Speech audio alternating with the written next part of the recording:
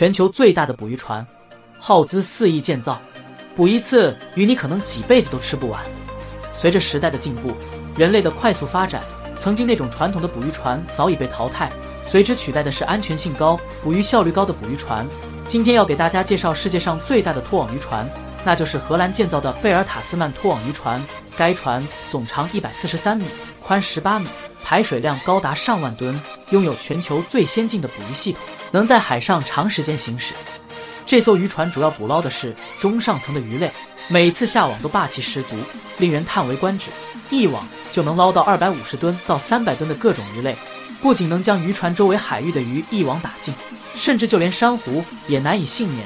而且经常还会捕抓到金鱼或者鲨鱼这类的大型鱼类。船上备有一个可容纳六千吨鱼的冰冻鱼舱，尽管拥有如此大的储备空间，但也仅需下网二十次就填满了，因此被很多人称它为鱼类收割机。当然，如此具有高效率的渔船，其制作成本也不低，据悉高达四亿元。但是渔船每次出海都能捕捞到几千吨鱼类，因此也算得上是物有所值。在荷兰贝尔塔斯曼渔船捕鱼的工人也是非常令人震撼的。这些工人必须有非常强大的力量，还要有很深的捕鱼经验，才能在全球最大的拖网捕鱼船上当工人。如果这些捕鱼的人一旦力量不足，或者没有丰富的经验，就可能会被在捕鱼期间被大海里面的鱼儿拖进水去。一般捕鱼的工人都不敢来荷兰当渔夫。被拖网渔船拖住的鱼儿种类也非常繁多。据农民说，每天都会捕捉不一样的鱼儿上岸，很多鱼儿连捕捉鱼儿的渔民都没有见过。一般被网住的鱼儿有很多都是体型庞大的鲨鱼，当然也有一些体积小但是很珍贵的鱼儿。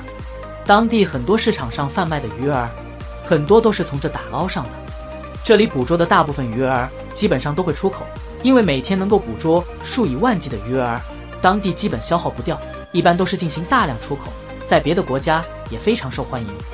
据说每年光是捕捉鱼，当地的经济都能提高不少。能拥有这样高效率的捕鱼船，对于商家们而言肯定是十分高兴的，但是对于海洋的鱼类来说却是一个巨大的危机。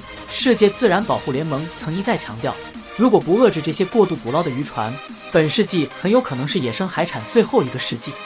对此，你有什么不一样的看法吗？